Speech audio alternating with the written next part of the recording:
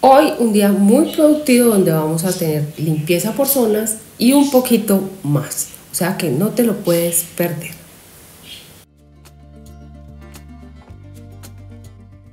Bienvenidos a Gloria en tu hogar. Me van a perdonar un poquito la voz, pero ando agripada. Hoy es día de sacar las plantas a que reciban un tris de sol en la mañana, que reciban unas dos horitas de, del sol de la mañana, porque el de la tarde imposible está están haciendo unos calores terribles y me las queman. Y vamos a regarlas.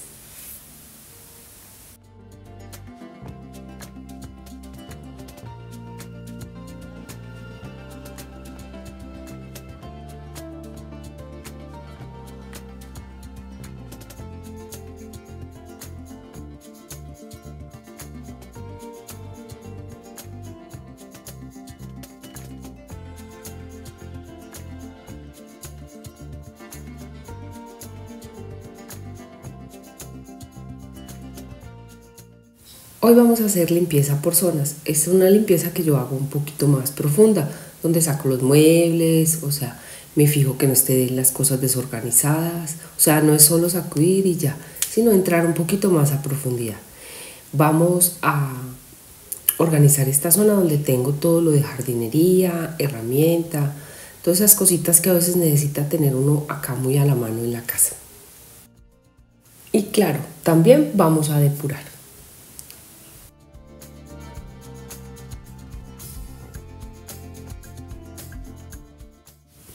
Como ya han visto, a mi esposo y a mí nos gusta mucho intervenir en nuestra casa. Él se encarga de hacer muchos de los arreglos y yo también, yo me encargo como de la parte estética, los muebles, ese tipo de cosas y él de todas las reparaciones que haya que hacer por ahí. Aunque a veces se me demora un poquito, pero bueno, le vamos a tener paciencia. Entonces él mantiene sus pinturas, sus pinceles, mejor dicho. Eh, y a los dos nos da pereza ir al cuarto útil porque queda Literal, niñas, mi cuarto útil es como cuadra y media, más o menos, bajando. Entonces, imagínense subiendo. Eh, hay que tener aquí muchas cositas. Ya, nos, ya definitivamente hemos ido como seleccionando qué va abajo y qué va acá. Miren lo que había detrás de ese mueble, hasta gusanitos, de esos que se enroscan. Pero la verdad, para tantos días que llevo sin mover ese mueble y para la cantidad de, animalitos y, bichitos que pueden entrar aquí por estar en, como en, esta zona pues tan campestre, eh, no es nada. Pensé que me iba a encontrar cosas peores. Esta nevera es de esos sistemas de antes que tenían como resistencia atrás, donde colgaban los tenis las mamás para que se no secaran para el colegio, la camiseta, al menos aquí en Colombia. Bueno, de ese tipo. Lo que pasa es que ya esas resistencias no calientan igual. Con un plumero y con un cepillo sacudí muy bien. Y aquí abajo sí, pues normalmente no hay tanto porque yo permanentemente pues estoy barriendo con esta escobita que es de Dollar City. Y me encanta porque es muy delgadita y me entra perfectamente casi hasta el fondo. En su mayoría lo que me encontré fue mucho polvo mucho polvo, mucho polvo, mucha lanita, mucho polvo, mucha tierra, que eso es inevitable. Algunas de ustedes me han dicho que corra la nevera acá, hacia el rincón, o sea, más cerca de la cocina. O sea, que no la tenga ahí donde la ven, sino que la corra al espacio que ven que dejé vacío. Pero resulta que ahí está el gas, la llave del gas, que hay que dejarle hay que dejarla fácil de abrir o cerrar por si una emergencia. Además hay un murito, mírenlo ahí. Ese murito hace que la nevera se me salga mucho. Entonces como que cualquier 10, 15 centímetros en este espacio tan angosto hace que la cocina se vea como muy apretada o el paso se me sale como muy acá al frente. Entonces por eso es que la tengo allá. Porque por espacio. Para que el pasillo se vea como más fluido y no haya algo que, estorbe tanto el paso ahí. Con el mismo trapero que ustedes ven que está impecable, voy a limpiar paredes, ahí la parte de atrás, simplemente a pasárselo por si quedó algo de rastro de polvo. Yo ya lo había sacudido con la escoba, me perdona que ahí se me desenfocó y lógicamente voy a trapear esa zona. Ustedes no van a ver que se ensucie mucho el trapero, pero les garantizo que con el polvo que saqué, esa agua quedó sucia. O sea, no se le pegó tan, tanto al trapero, pero sí quedó, quedó sucia esa agua, porque claro, ahí había mucho polvo.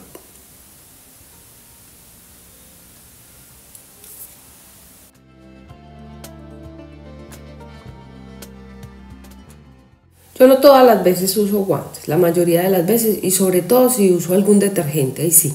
O sea, un, como un límpido o un, sí, algún, algo que sea muy fuerte, o un oxígeno activo, o un blanqueador, algo así. Pero a veces no, a veces me, cuando, digamos, hoy tengo que arreglar mis uñas después de esto, dije, ay, qué bobada, vamos derecho. Y bueno, de una. Y como mantengo la, el trapero tan limpio, no, no me da como asco, porque pues es mi casa y, yo mantengo todo pues como me gusta a mí, ¿no?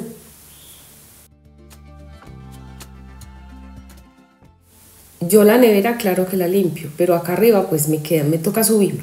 Y mire, míreme en el polvero, porque claro, casi nunca lo hago arriba. O sea, o le paso el plumero o algo así, la grasita de la cocina, quieran o no, se va pegando como ahí y va como haciendo que el polvo se quede. Mírenme, espérenme, les muestro el trapo, mírenme la cochinada. O sea, a mí también se me ensucia la casa, no crean.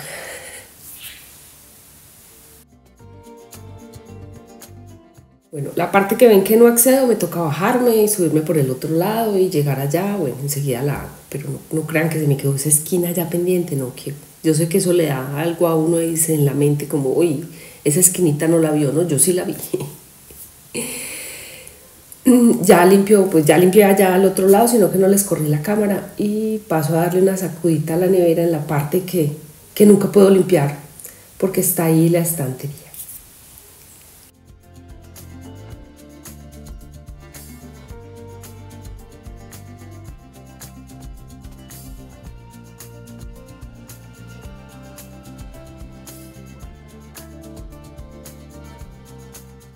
Lo importante no es tener, sino saber dónde guardar y cómo. Miren, por ejemplo, ahí puse dos taquitos de madera. Aquí las, la casa tiene mucha altura y la escalera para que se sostenga bien, porque hay que ponerla como a nivel de las escaleras. Las que han visto mi canal saben que afuera tengo escaleras en el frente de mi casa. Entonces hay que poner esos tacos como nivelando y por allá nos encontramos los tacos perfectos y ya el señor de las goteras, del techo, de todo, nos dijo, no me boten los tacos, que cuando venga un arreglo necesito esos tacos. Ahí se le tienen, porque son indispensables para el que se quiera subir al techo de acá en una escalera. Hay que poner dos cuerpos largos, a veces tres, o sea, es que es, es muy alto, la altura es mucho, entonces hay que trabajar ahí. Estos canastos que tienen, herramientas y, las cositas de jardinería. Simplemente saqué y depuré algunas cositas que lo vieron al principio del video y ya. El resto es volver a colocar ahí. Que cintas, que destornilladores. Yo pronto enseguida les muestro a más de, con, más detalle. Eh, aquí hay mucho, se puede entrar mucho bicho, cucarachas, no sé, alacranes. Entonces mi esposo mantiene baigón, no sé qué. Aunque yo trato de mantenerlos muy a raya, no sobra pues no sobra que de pronto algún animalito de esos por ahí se camufle y hay que estar preparado.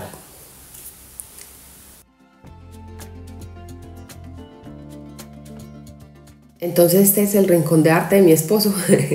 el arte de él es arreglarme la casa, los dañitos que haya por ahí, pintarme algún murito, ese tipo de cosas. Las bases de madera, bueno, en fin. Eh, y tiene aquí todas sus herramientas, sus trapitos para que para pintura de aceite, que el de la pintura café, que el de la no sé cómo, bueno, y vaya, bótele cualquier cosita para que vea. Entonces hay que, al menos de vez en cuando, organizarle.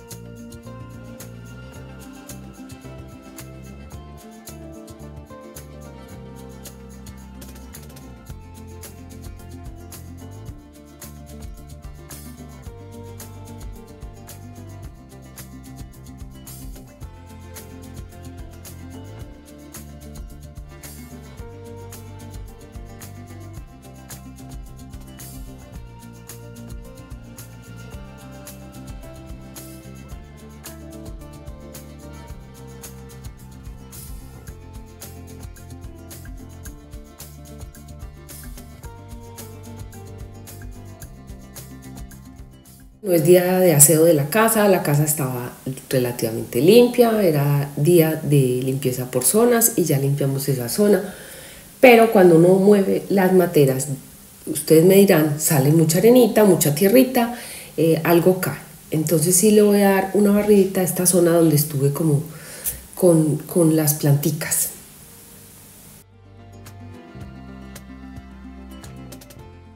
Voy a lavar muy bien la, traperita porque si me quedó pues muy sucia de, limpiar ahí la zona de la, herramienta y para también darle una pasadita ahí donde, donde tengo las plantas porque ya, ya las voy a entrar antes de que les empiece a dar el sol fuerte.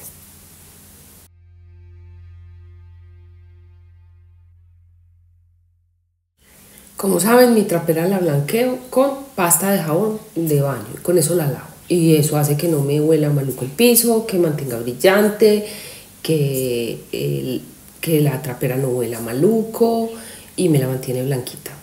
El jabón de tocador, de olor, con el que se duchan, el más barato que haya en el mercado para que sea un jabón duro, que no se les acabe, pues, que no sea el Dove cremoso, pero es buenísimo. Y sobre todo porque es un jabón que no es hecho con esa grasa maluca, entonces no deja el piso oliendo como a huevo eh, además no tiene ningún antibacterial fuerte que genere también ese olor a huevo. O sea, todo es como especial para que el cuerpo lo pueda recibir.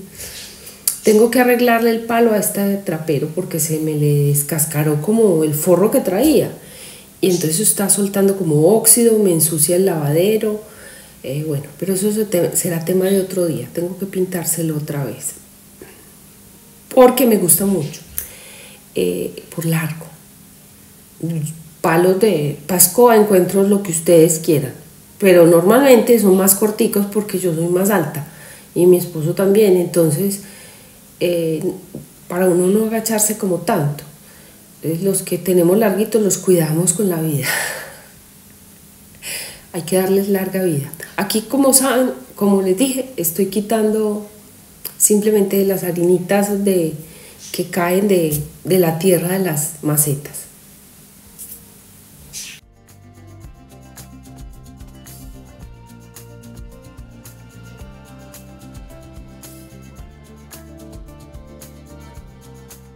Me preguntan sobre todo las nuevas suscriptoras, porque pues las de siempre yo creo que ya lo saben, que cómo hago para que estén tan limpios y brillen tanto mis pisos. Bueno, enseguida les voy a mostrar más o menos cuál es el proceso que yo hago.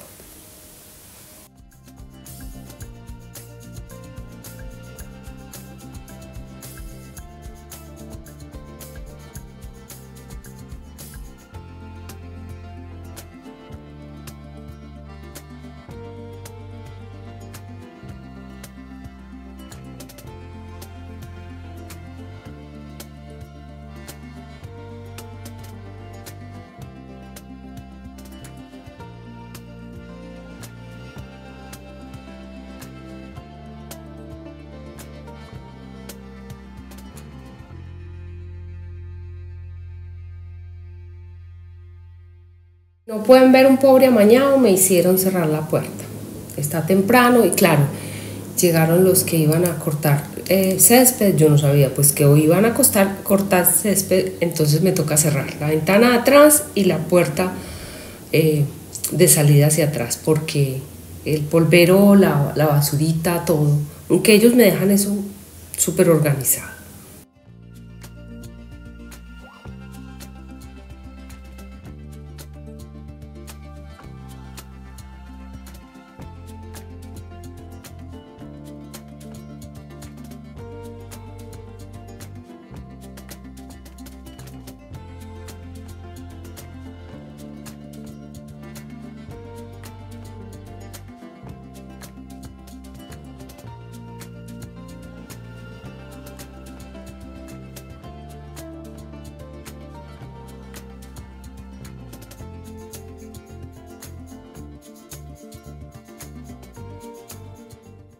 Como saben, yo tengo mucha zona campestre aquí al frente y una reserva natural. Entonces, miren esto para las eh, culebras, para que no de pronto no se entren tan fácil. Un pedazo de acrílico lo mandé recortar del tamaño que necesitaba para quitarlo cuando yo quiera y miren, Con una chapetica lo sostengo, le puse unas cintas y ahí pues no se ve del todo tan mal, tan mal, pero me ayuda a que al menos las detenga un poquito. A veces los animalitos no vienen para donde uno ni hacerle daño a uno, sino que ellos se encuentran libre el camino y a veces si tienen como un obstáculo, ellos voltean y siguen. Yo necesito que volteen y sigan. Aunque la verdad con este verano no me ha parecido ninguna. Pero tenemos una vecina como una cuadra más abajo que eh, esa tiene criaderos, como seis. Entonces, claro que dicen que cazadoras, que la falsa coral, que no sé qué, y donde venga la que es. No, no, no, yo no quiero que me piquen. Miren que siempre salió basurita.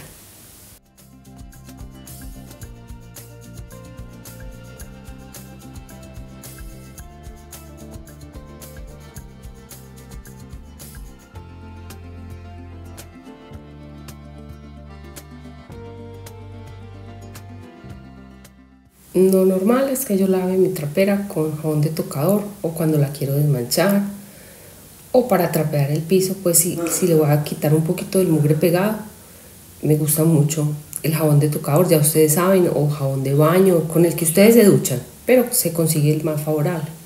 En este caso yo lo compro en las tiendas de uno.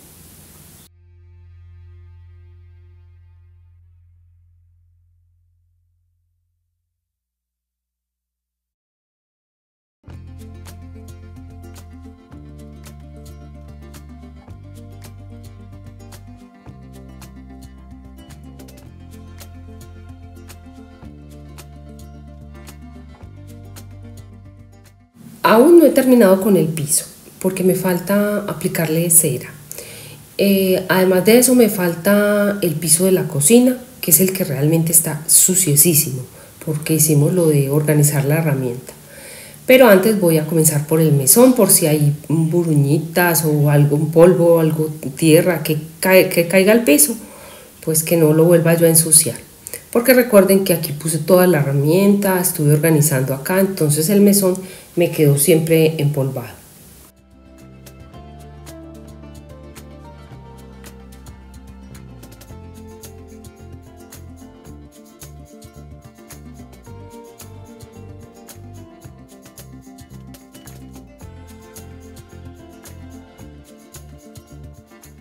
Les recuerdan que les había dicho que se me habían dañado varias cosas, que se me dañó. Una de ellas fue el microondas porque no, no giraba el plato. Bueno, lo trajeron, lo arreglaron y al otro día la parte digital ya no sirve. Yo creo que nos vamos a ir de comprar microondas. Bueno, vamos a intentar por ahí con alguien que como que no lo va a arreglar, vamos a ver si sí. Pero ¿qué les parece? O sea, los pobres electrodomésticos en mi casa, nada. Black Decker, nada que me responde por la olla, que sí, que garantía, que no sé qué, pero nada. Ese lugarcito ahí en Vigado donde ellos tienen el, centro de servicios malito, se ve que son muy desordenados, porque además la primera semana yo fui a los ocho días a ver qué pasaba con la olla y se les había perdido mi recibo. ¿Qué les parece? Eh, no, no, mejor dicho,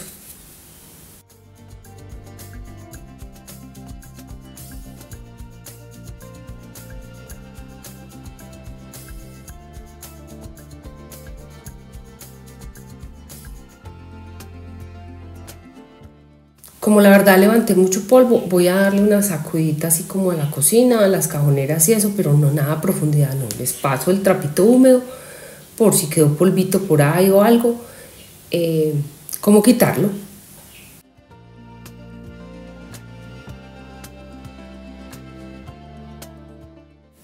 Lo mismo que a la mesita auxiliar que tengo ahí al frente, que hace en el video pasado creo que fue que la organizamos. Bueno, la papelera está empolvada, o sea que sí. Yo casi nunca me ven lavar papeleras, o sea, sí las lavo, claro, pero casi nunca porque eso está encargado mi esposo. Él saca las de los baños, él saca las de la basura, el todo, y normalmente él las lava. Yo lo puedo hacer a veces, pero él normalmente lo hace. Entonces lo que yo hago es a las de los baños desinfectarles las tapas, porque él una vez a la semana las lava y a las de la cocina también sacudirlas así o limpiarlas por encima si se van ensuciando, porque el diario me saca la basura, entonces no tengo problema como que se quede ahí pues el chorrete de agua oliendo maluco, no. o de los jugos esos que sueltan como los alimentos. En la cocina tengo dos sifones en el piso, uno terminando todo lo que es la cocina en sí y otro en la zona del lavadero. Del la, lavadero, no, del lavadero. y tengo estas dos, estos son realmente portavasos, los conseguí en el éxito. Son en silicona y yo se los pongo siempre a los sifones. Los sifones míos normalmente tienen esas tapitas. Aquí en los baños no tengo, o al menos en los... bueno, eso es que depende del sifón, porque aquí en esta casa hay unos sifones que no dejan pasar nada, o sea, uno levanta la rejilla y debajo hay otra rejilla más cerrada uno, entonces no tiene problema. Pero estos que son de como para escurrir bastante agua, si es mejor. Miren, yo siempre lavo la escoba o trato normalmente de lavarla dos, tres veces a la semana. Eso me ayuda a que la casa esté muy limpia, no trapear con la escoba sucia. Entonces ahí es donde la cuelgo. Ahorita la saco al sol cuando ya haya escurrido un poquito. De pronto ahorita se las muestro. Lo que ensuciamos arreglando esa zona de la herramienta, que si no te lo has visto es porque adelantaste el video, devuélvete al principio, pues la cocina del piso quedó bastante sucio. Eh, no se ve, pero sí está muy sucio. Entonces hay que, le voy a dar con la trapera untada de jabón, después por ahí unas dos pasadas para quitárselo y ya después me voy a trapear toda la casa con la cera que les digo y ya enseguida se las muestro.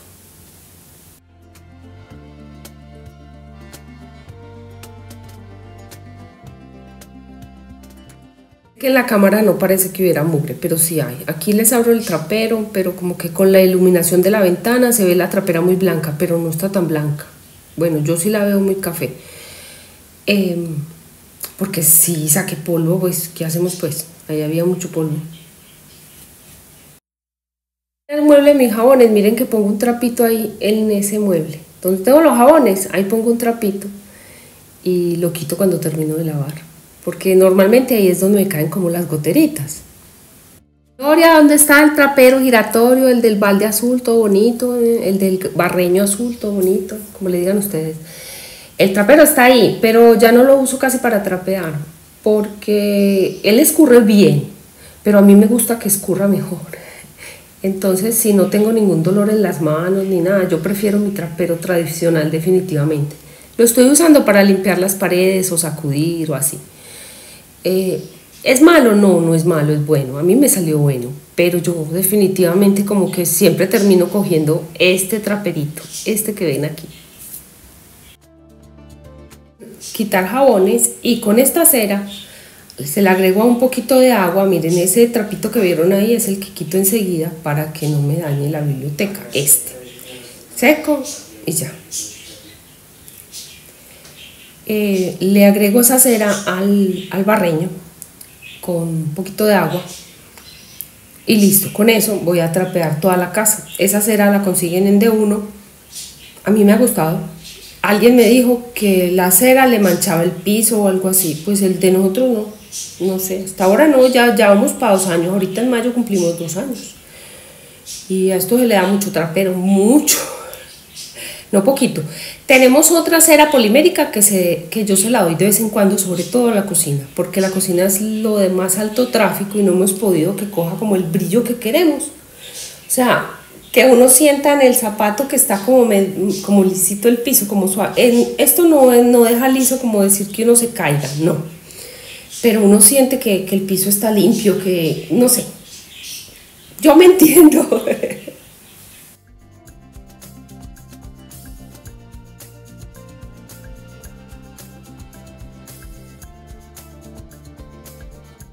Esos son bobadas, no hay nada como el trapero tradicional. O sea, sí, lo otro está muy lindo, muy chévere. Me sirvió, me sirvió porque cuando lo compré, lo compré porque me estaban empezando a doler las manos, pero es un tema ahí de, un tema ahí que tengo yo de algo raro que tengo. Eh, pero yo en este momento estoy muy bien y no me duele nada, entonces hagámosle. No es nada de túnel carpiano ni de eso, no, eso es unos anticuerpos antinucleares que hacen que de pronto de vez en cuando me duela hasta el jopo, pero bueno, ¿qué es el jopo? No sé. Bueno, eh, sigamos limpiando aquí.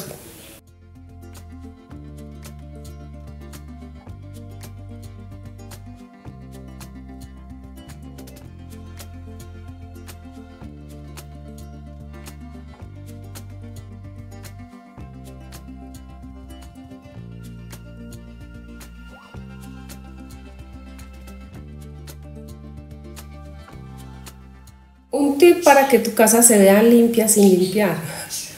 Mantén trapeaditas las escalas. No trapees arriba, no trapees abajo, pero las escalas diario. Porque, digamos, en esta casa que son de madera, abre uno la puerta y lo primero que ve es el polvo de las escalas. O sea, uno sabe que hoy no hubo aseo aquí, o que ventió, o que hay mucho verano, porque lo nota en las escalas. Entonces, hay que mantenerlas impecables. Para el lavadero, miren. Este lavadero no sé por qué recoge agua aquí en esta esquinita. Por la noche mi esposo siempre, antes de acostarse, lo seca y le pone los dos taponcitos que tiene ahí, que por cierto les está dando la sombra y parece que estuvieran sucios, pero no es la sombra. Eh, y eso hace que el, esos taponcitos, que el lavadero no, no se te ensucie tanto. Eso es un gusto no mirar la casa así.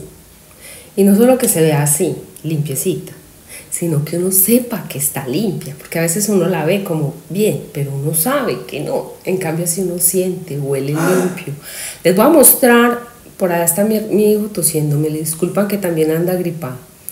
Miren, acá tengo las, mis sandalias que las lavé, estoy descalza y mis escobitas al sol eso 10 minutos, pues enseguida las entro. O sea, yo ahí normalmente no dejo cosas así, pero con este verano, pues es que mientras les hablo, ya, chao, eso se secó. Y lo mismo la cocina, nos quedó impecable, no va a durar mucho porque enseguida hay que hacer almuerzo. ¡Qué dicha! Después de que ya estaba todo listo, otra vez a ensuciar la cocina. Esas son las cosas de la vida. Ni modo. Miren cómo me entra el sol a la cocina, miren. Y a la mata, sí, a la planta. Sí, la ven, lo ven. Me encanta. Eso fue una decisión perfecta. Haber quitado ese techo que tenía ese, ese patiecito ahí. Porque oscurecía la cocina. En cambio, así hay épocas del año donde me entra el sol y me parece así como fantabuloso.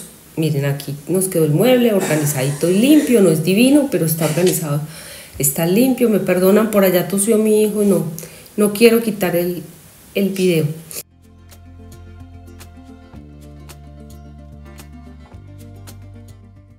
Les quería mostrar antes de irme eh, un cuadro que yo tenía y no me gustaba como mucho los colores y eso. Ay, miren, espérenme, miren cómo entra el sol de lindo ahí, me encanta. Eh, yo todo lo que sea sol, a mí me encanta. Y mi hermana me lo modificó y miren cómo quedó precioso. No sé dónde va a ir, pero ahí me gustó. Lo puse ahí por que soltarlo y me gustó. Miren la letra que mi esposo normalmente tiene encima del escritorio, como quedó bonita, ya no sé. A mí me gusta. Y el cuadro raro ahí es distinto, pero me encanta ahí como escondido. No sé, me gusta. Regálenme un like, suscríbanse y no olviden que esto es Gloria en tu hogar.